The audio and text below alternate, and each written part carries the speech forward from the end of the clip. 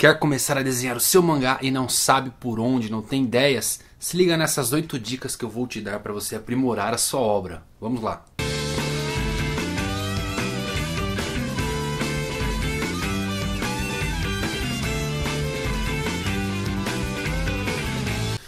Fala galera, Evandro Fusari com mais um vídeo pra vocês. Hoje trazendo algumas dicas pra quem quer desenhar o seu próprio mangá. E essas dicas também servem pra quem já desenha e quer aprimorar um pouquinho o seu trabalho, a sua arte. Mas antes de eu falar, é lógico, é novo no canal, se inscreve, já é inscrito, deixa um like.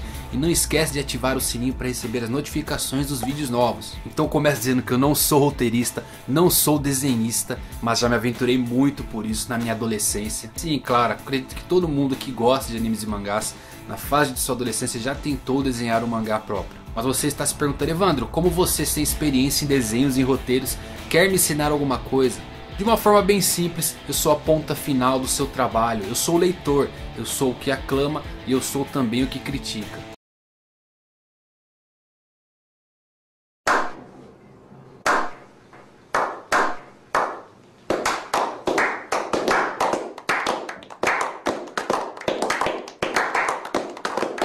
Meu currículo na leitura vem desde os 5 anos, quando comecei a colecionar minhas primeiras revistas da Turma da Mônica. Desde então não parei passando por mangás, HQs, livros, blogs, jornais, revistas, tudo que você imaginar eu pego para ler. Tem palavras escritas, estou lendo. Então eu vou passar algumas dicas de algumas coisas, algumas experiências que eu já tive com algumas obras, ao qual vocês podem usar, destrinchar e evoluir os seus próprios trabalhos. São dicas básicas que vão desde a composição de todo o seu trabalho até o desenvolvimento e aprimoramento. Se você quiser pode usar todas, se você quiser pode usar apenas uma, ou se quiser não use nenhuma, dá só um like no vídeo e tá bom. Então vamos lá, essa primeira dica, dica número 1, um, serve para quem está iniciando o seu mangá, ainda não começou, quer começar, tem um roteirinho pronto, já fiz alguns esboços, mas ainda não começou a passar tudo para o papel. E a primeira dica que eu dou é, defina seu público-alvo se você tem uma história do mangá Yaoi de demônios, com certeza não será apreciado por um grande público. Então você vai participar lá do BMA, quer mandar seu mangá para adiante, manda um mangá Yaoi de demônios. Pode dar certo? Quem sabe, mas é bem mais difícil do que se você tivesse escolhido um tema um pouco mais simples de trabalhar. Ou outro exemplo, você quer fazer um shonen, você quer fazer um shonen para o público adolescente, mas insere temas pesados demais nesse shonen, o que acaba beirando ali um pouco o seinen, isso pode atrapalhar também a publicação e desenvolvimento da sua história, você acaba confundindo e perdendo as rédeas do seu trabalho. Dica número 2, comece com poucas páginas. Não tente fazer nada megalomangático, não tente fazer uma obra gigantesca, você não será serializado de um dia para o outro. Essa é a dura realidade. E one shots são ótimos para você desenvolver e aprimorar todo o seu desenvolvimento, toda a sua arte, todo o seu roteiro de uma forma bem mais simples, bem mais fácil e bem mais legal. Lembre-se, escritores famosíssimos começaram com one shots, por exemplo, Ishiro Oda, um monstro de One Piece, começou criando um one shot chamado Wanted. E outro exemplo, o escritor Stephen King, que começou sua carreira publicando pequenos contos em revistas e hoje é um dos maiores escritores vivos de nossa época. Então vá com calma, faça pequenas histórias, pequenos contos, poucas páginas, mesmo que o final não seja tão interessante, comece com one shots. Essa é a dica bem importante para você que quer aprimorar os seus mangás. Terceiro, clichês. Trabalhe bem os clichês. Clichês fazem parte de qualquer obra e se vai dar certo ou não depende de como você vai utilizar os clichês no seu trabalho. Quer um exemplo de um clichê que ninguém aguenta mais ver? Um colegial tímido que se caga todo quando a garota mais bela do colégio vem conversar com ele. Quer ver o mesmo clichê funcionando? Um colegial tímido se caga todo quando a garota mais bela do colégio vem conversar com ele. E ele sai correndo e tromba no delinquente mais barra pesada da escola. O delinquente jura pegar o garoto na saída da escola mobilizando toda a sua gangue. Porém pessoas próximas que passaram viram aquilo espalharam para a escola inteira o boato de que o garoto que havia desafiado o líder dessa gangue. Todos aguardam ansiosos o fim das aulas, menos o garoto time, que continua se cagando todo. Você chegou a notar a diferença do que eu falei?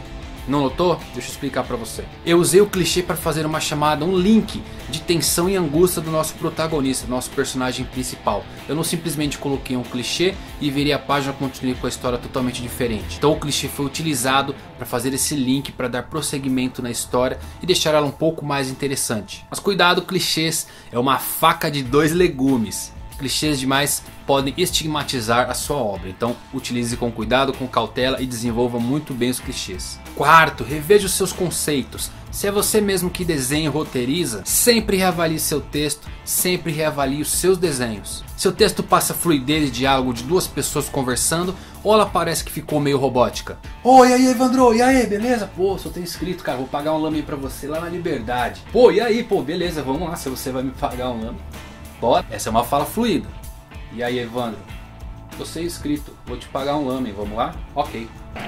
And the Oscar goes to. Entendeu a diferença das duas falas?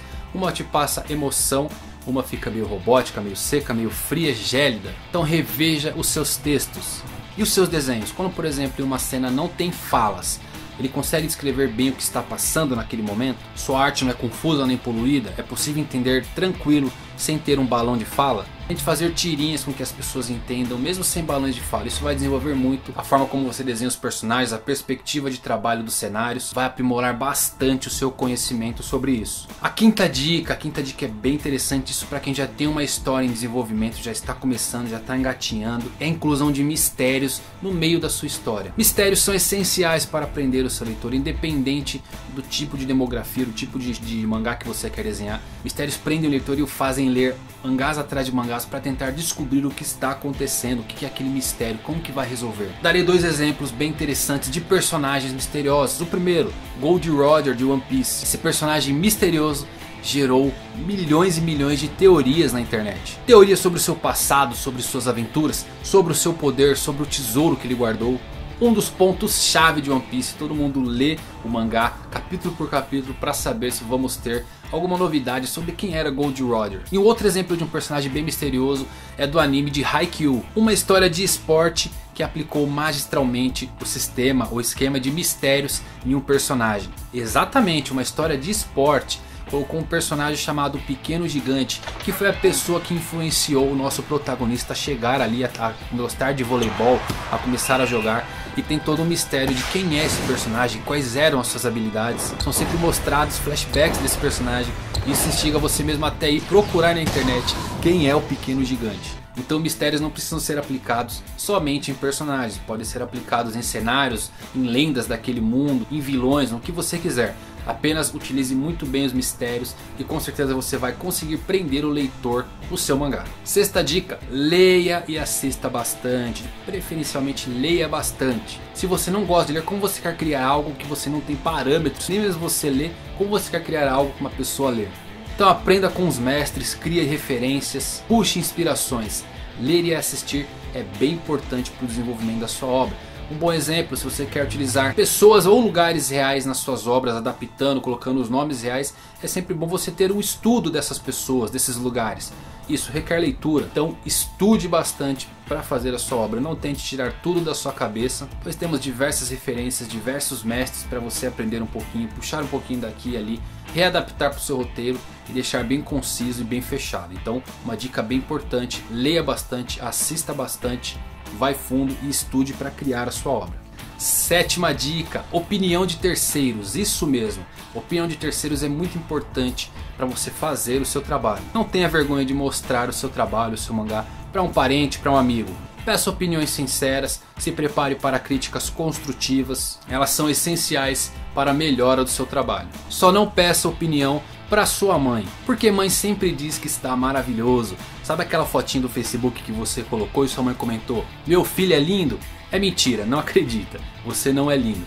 Então não peça a opinião da sua mãe porque ela sempre vai dizer que está lindo e maravilhoso o seu mangá. E agora a oitava dica, para encerrar, uma dica bem importante que aclama bastante obras. O plot twist, uma das coisas mais adoradas de uma história. Aquela mudança repentina de roteiro que pega o leitor de surpresa. Algo totalmente inesperado que vai fazer a sua obra brilhar. Plot twists são sempre interessantes, sempre bons. Vou dar um exemplo aqui de um filme. Por exemplo, o Clube da Luta que quando saiu não teve sucesso, não teve bilheteria e com o tempo se tornou um clássico cult por causa do seu final extremamente interessante com um baita de um plot twist. A primeira regra do Clube da Luta é você não comenta sobre o Clube da Luta. A segunda regra do Clube da Luta é Você não comenta sobre o Clube da Luta. Então, o Clube da Luta já é alguma coisa para você assistir aí, para você ter noção do que é um plot twist bem aplicado. Se você quer mais dicas de plot twist, reveja a dica número 6 que eu dei. Exatamente, volte lá na dica 6 e veja o que, que eu falei lá. São pequenas dicas que eu dou. Eu como leitor gosto de ver isso nas obras, gosto de ver esse desenvolvimento. São dicas para sua história já pronta, já aplicada, já roteirizando e dicas para quem vai começar. Vou trazer mais dicas, com certeza vou fazer vários vídeos desses para ajudar quem quer fazer o seu próprio mangá, para quem quer participar do BMA, para quem quer mandar um mangá para Jump, que eu inclusive vou fazer um vídeo. Se você gosta, se você quer fazer isso, tenta, vai fundo, utilize essas dicas, aprimore o seu trabalho, claro, mostre ele para o mundo. Então espero que vocês tenham gostado, fiquem ligados, até mais e fui.